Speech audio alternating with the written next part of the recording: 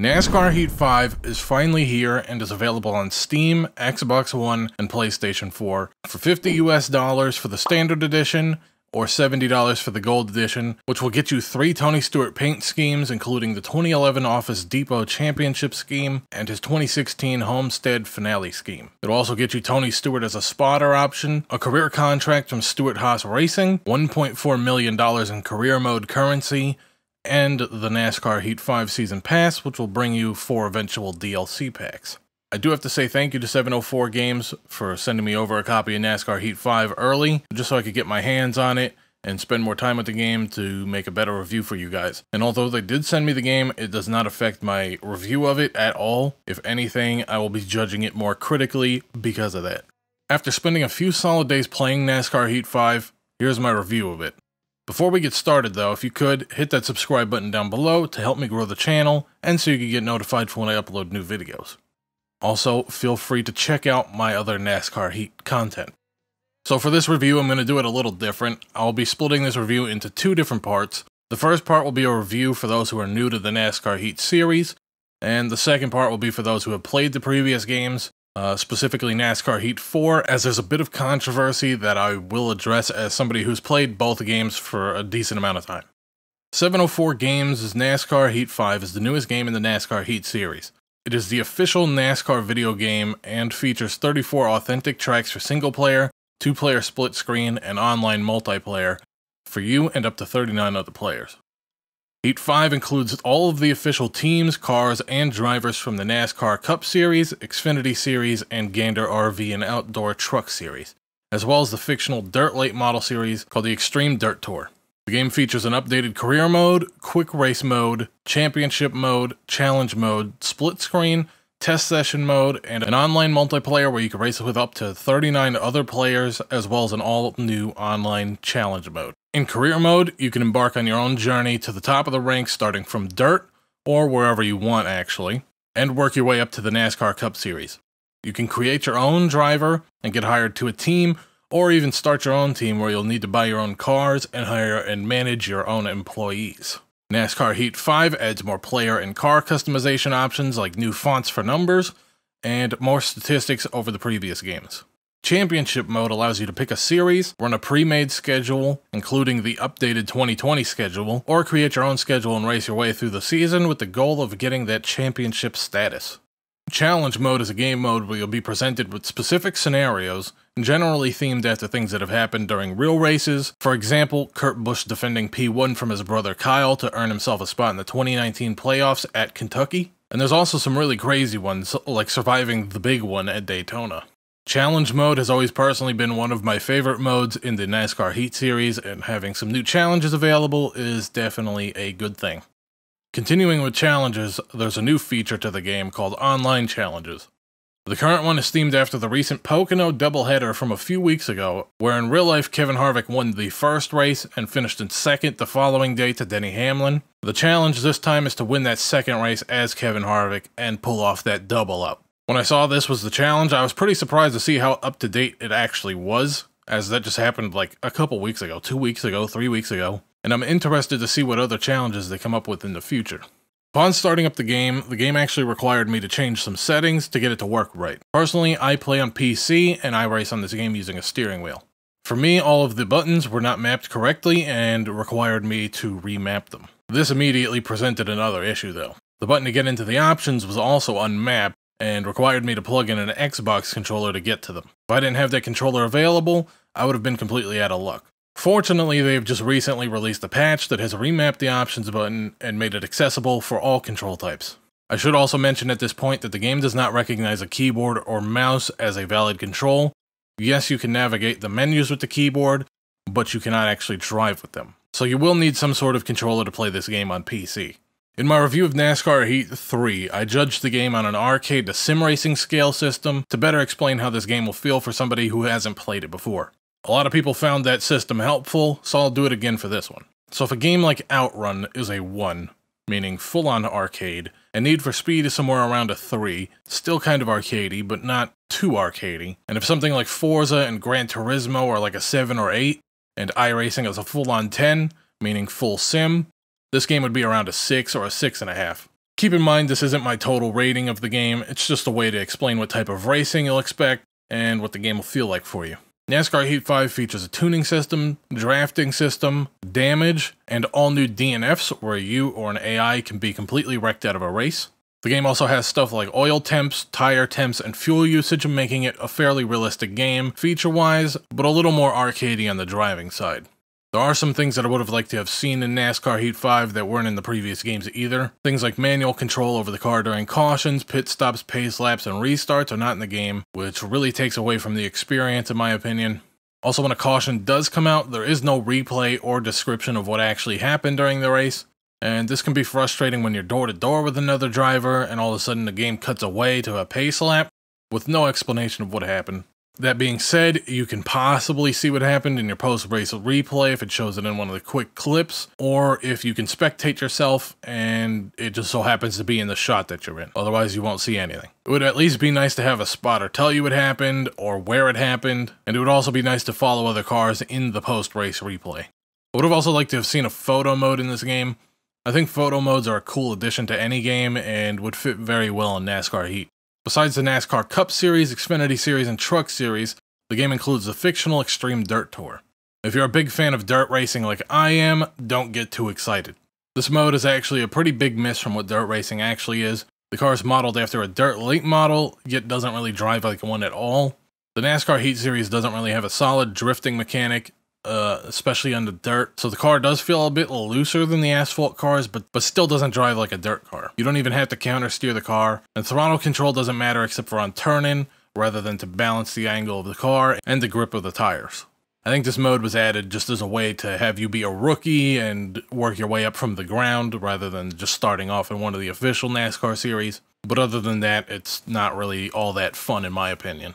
Apart from the Dirt series, the AI in this game is actually really fun to race against. They've made improvements since the last game, and it's actually very noticeable. In the old games, they would pretty much just stick to one or two lines, and that's about it. They would be very easy to outpace, even on harder difficulties, as long as you adjusted your setup a little bit. In the last two games, I would run with bots on the hardest difficulty and still win a lot of races pretty easily. But in this game, I find that even on lower settings, the bots still have the ability to outrace me if I'm not driving at my best. In NASCAR Heat, the AI can be set from a difficulty range of 85 to 105, and I find the highest setting in this game actually is pretty tough for me. I need to be on my A game with a good setup just to finish in the top 5. Beyond the general difficulty level, there are a few other settings for the AI to better tweak them to your liking. For example, you can change how much they're affected by things like tire wear, how stable their cars are, their chances of recovering from getting loose or turned, how common a malfunction is for them, how compact the restarts are, so if everybody's bumper to bumper or if there's a little space in between, and how wide the skill gap is between the top drivers and the lower level drivers.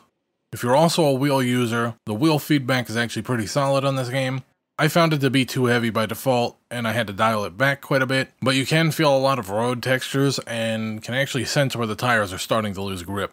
As far as the online in this game goes, it can either be a lot of fun or a complete disaster. I've been in some lobbies that have clean racers who appreciate a good race, but I have also been in lobbies that could pretty much be considered a battle royale. It's honestly just luck if you get in a clean lobby or a lobby filled with trolls and griefers, the game does have a ghosting system that kicks in, but it kinda takes too long and trolls can learn how to avoid it altogether to still hit you. The best solution to this is to host your own lobby and to just kick trolls out as they come in, or to just join a league for the game. You can find some leagues or groups through the official NASCAR Heat Community Discord server. They have a league section in there and a looking for group section. The cool thing about the NASCAR Heat series is that you can actually just kind of go from getting the game to possibly being in the esports series. Uh, when the esports is running, they have qualifiers. Uh, it's a couple different qualifiers for you to be able to qualify to get into the actual esports series. And it's open to everybody, as far as I know. There might be an age restriction, but otherwise it's open to everybody. The only issue with that is it's not on the PC for some reason, which I don't really understand. Uh, I've played the game on console and I've played the game on PC, and it's virtually identical. When it comes to graphics in this game, they're pretty reasonable. It's nothing to write home about, but they also don't look bad. Personally, I play in 4K on PC with the settings maxed out. For anybody wondering about my PC specs, I have a Ryzen 2600, 16 gigs of RAM, and a GTX 1080. And it can manage this game perfectly fine. The gameplay you're seeing in the background is actually 4K max settings, but it's just downscaled to 1080p for YouTube. Heat 5 in 4K looks pretty sharp, and it actually has really nice lighting. There aren't that many settings you can change to customize the graphics though. On PC, you can only change resolution, quality level, bloom, anti-aliasing, shadows, and replay depth of field. It also has three different VSync settings. There's none, which is an unlimited frame rate, as far as I know.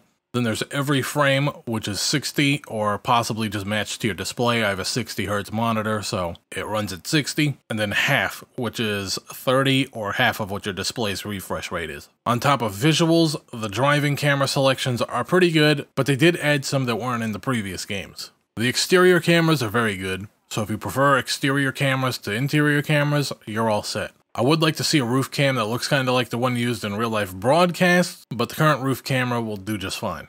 For me, the issue in this game comes with the cockpit camera. I can't really explain what the problem is with it, but it just feels off.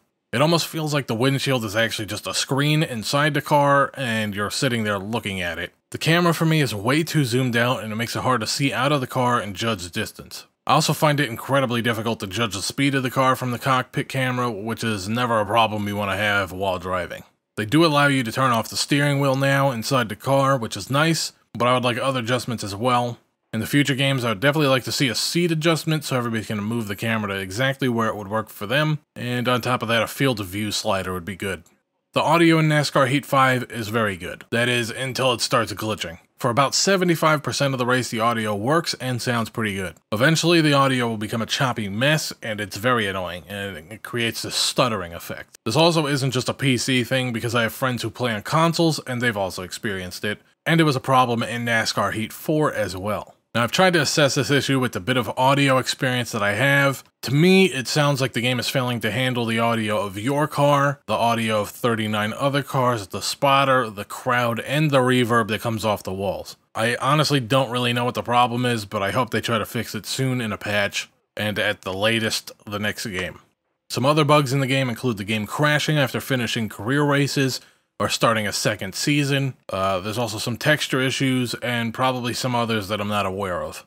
I do know that the game crashing bugs are being worked on right now or may have possibly been fixed already. I didn't personally experience either the crashing bugs or the texture bugs, but I have seen pictures of them online and discussions of them on Reddit and Twitter. Despite the bugs and the few gripes I have about this game, it's still very fun to play. Overall, there's a good amount of content in the game for the $50 price point, and for the Heat 4 players, I'll address that shortly. Just hang in there real quick. You get pretty much everything you'd expect from a NASCAR video game. You get all the tracks, all the cars, and all the drivers. You get the fictional Dirt series. You get a pretty solid career mode, a 40 person online multiplayer, and the game has decent physics that work for everyone, whether you're new to racing altogether or have been playing racing games for years. The game isn't a simulator, so you can't really expect sim physics from it. I do find that the game has managed to pull off a good balance of arcade and sim elements to make an overall enjoyable racing experience for everyone. Now for the overall rating of the game. I like to review my games on a skip, wait for sale, or buy rating. I feel like this system works better than just a random number that doesn't really mean anything at the end of the day. And this is where the crossroads comes in between new players or veteran NASCAR Heat players. So in this specific case, I'll be giving this game two different ratings. If you don't already own NASCAR Heat 4, NASCAR Heat 5 in my opinion is a definite buy. It is the best official NASCAR stock car racing game right now that can deliver when it comes to having all the drivers, all the cars, and the tracks to make it an official NASCAR experience. As long as you're comfortable with the few bugs I've mentioned that are probably going to get patched anyway, and don't mind the potential battlefield that is the online, then it's a pretty safe purchase. Now for those of you like myself who have played NASCAR Heat 4, there's a lot of controversy around NASCAR Heat 5, primarily around its price tag of $50 or $70 for the Gold Edition. I've spent the past few days really trying to experience everything the game has to offer to determine whether or not I feel it's worth the money. What I've decided is that it really depends on what you want from the game. If you're like me, I primarily stick to single player. If I want to do some online racing, I'll just get on iRacing for that. But the new AI in this game is the best I've seen in a NASCAR game ever. They really find their own grooves, they try different lines, and they don't just stick to the same two spots on the track. They can be aggressive, they decide whether they want to work with you or just try to pass you. They do bump and runs once in a while and push you up into the turn and dive under you. They pressure you. They don't feel quite like real players yet, but they aren't too bad for being AI. To me, that's a pretty big deal. and they really shine in a longer race like a 50% or a 100% race. I also really appreciate having the updated roster. It's cool to see everyone in their new rides. And they also announced that they're going to be adding Indy Road now that the Xfinity Series is raced there. And with them doing that, they may even add Daytona Road at some point since they're going there this season now instead of Watkins Glen. At the end of the day, even though I love the new AI upgrades, the 2020 roster, and the eventual addition of Indy Road, it is hard to justify that $50 price point. And that's a hard thing to say too, because the game isn't bad. It isn't even worse than Heat 4. It's actually better. It just hasn't added enough to really sell itself. What I would have appreciated was a discount for those who owned Heat 4 to get the game for like 25 to $30 at the most. It does kind of hurt a bit to see things like Kenseth pretty much just looking like Kyle Larson in game, or even sharing his exact driving style with the infamous Larson line. The game also has loading screens now that are essentially Fanatec ads that are just a little strange to see, but aren't really a big deal to me since NASCAR does pretty much just have 200 mile an hour billboards going around the track. The only new things besides the AI and roster are the testing mode, which is basically just practice without AI, more fonts for numbers, new challenges, some career mode stats, and the championship mode. After assessing all that, my rating for returning players would be a wait. I don't really think it's worth skipping completely unless you exclusively run online races because that's pretty much something that's exactly the same from the last game. But if you can find the game on sale, I would say it's worth picking up. This was a bit of a weird review to make. Typically, I wouldn't give a game two ratings, but in this odd, very specific situation, it really needs it. Usually a game is either good, bad, or just meh, but this game is good, but it does also just feel like an update to the previous game. That being said, I will be playing this game a lot. I do plan on following the entire 2020 and 2021 Cup seasons on this game, at least until Heat 6 comes out as well as doing a career mode playthrough. So if you're looking for some NASCAR Heat content, make sure to subscribe so you get notified for when I upload new videos. Anyways, I know this was a bit of a strange conclusion to a review, but if it helped you out, make sure to let me know by hitting that like button down below. Thanks for watching everyone, see y'all next time, peace.